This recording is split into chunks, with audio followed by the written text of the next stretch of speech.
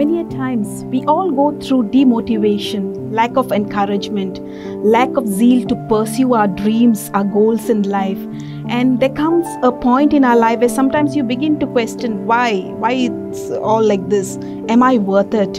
And at certain junction, we don't find a word of appreciation or we don't find a word of encouragement. And in the Bible, we have we have read and we have seen so many women and men of God have faced discouragements, demotivation in their lives, and they have faced failures and weaknesses in their lives. And some of the situations which you and me go through, we feel discouraged and you know we don't feel like pursuing our passion and our goals and whatever we wanted to strive for, live for, we want to give that up. But God's word says, do not give up, rise up. You know, the Lord says, I am not finished with you yet because the destiny is waiting for you.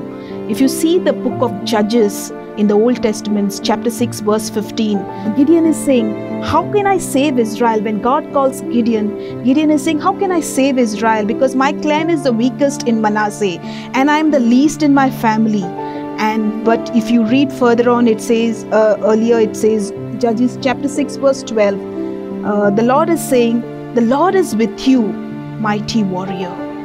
Amen. We see god is calling him a mighty warrior and giving him the motivation giving him the boost saying that you can do it. And we see further on in that uh, verses we see further on we see gideon was able to defeat the midianites. He was able to take up the challenge. You know, just in the New Testament, we see Saul who transformed himself to Paul.